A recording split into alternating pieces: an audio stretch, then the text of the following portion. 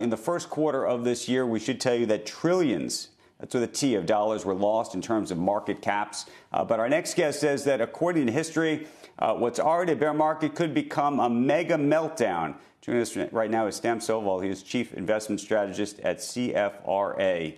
Uh, good morning to you, Sam. Uh, that, that does not sound very optimistic, Sam. Morning, Andrew. Well, no, I look to history for guidance, but obviously uh, it's a guide and not gospel. So we have to sort of prepare ourselves mentally for that possibility. Uh, when you look to the direction of uh, earnings right now, I mean, when you look to the GDP or earnings, it's we're essentially in a fundamentals free fall. We really just don't know where the bottom is. So if you look to history as a guide, basically says that earnings tend to decline by about 10% during recessions. PE multiples uh, revert to about 12 times. So the implication, therefore, is that from those two metrics, we could see the S&P below the 1800 level, which would re replicate a bear market similar to what we saw in the early 2000s. Uh, and we also got a confirmation from the first three months of this year being negative, and historically that has pointed to a full year decline averaging close to 15 percent. Okay, so we've had people like Mohamed El-Erian say, if you have cash on the sidelines, hold, don't buy anything yet, because he still thinks that there, there's uh, some more challenging times ahead. It sounds like you're saying the same thing. The question that we don't, we hardly ever talk about it is when to sell, especially in a market that's down already.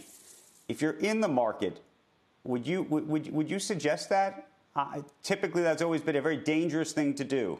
But if, if you're if you're expecting something much worse, Right. Um, I I have a hard time telling people when to sell. Uh, traditionally, what I find is that yes, you can look to things like the uh, the 17 week moving average uh, and the 43 week moving average. Mark Arbeter, the former technician at S&P, used to always look to that as a guide to say that we could have harder times ahead, and we are in that mode right now. Uh, and then looking at when to actually buy back in, I find that the market can be a very good indicator. I look at a rolling 15-day intraday spread, uh, and we have, and after we have seen a peak in that volatility, then about a month later we find that the bottom has been put into place.